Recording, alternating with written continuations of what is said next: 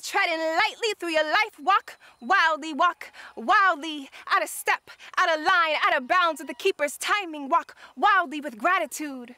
Forsaking marching orders from masters who have never seen your feet or walked your road and, frankly, don't know how to care about your heart.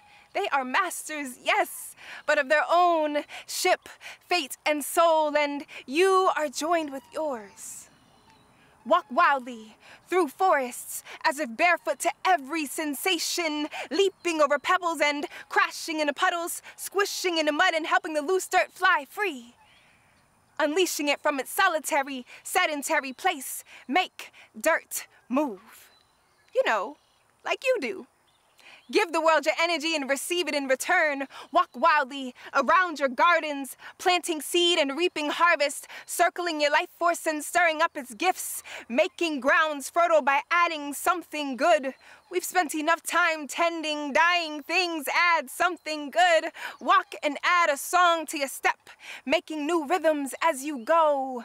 Do not worry about what you are hearing protect what you are producing, what's being produced in you. Make complication and celebration and challenge and courage all a part of the compost. Nothing goes unused.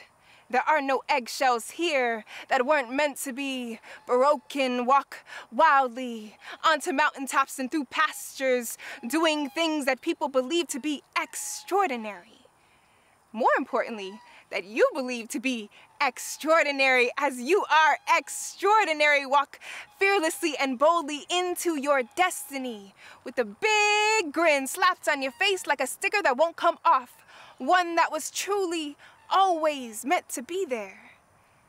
Your happiness is the goal of your walking. So whether you trudge, bolt, saunter, skip, hop, thud, crash, splash, stumble, kick, shuffle, march, or leap, make a sound, make a path, make a journey, make a life worth the footprints you leave, make earth move by walking all the ways that move you.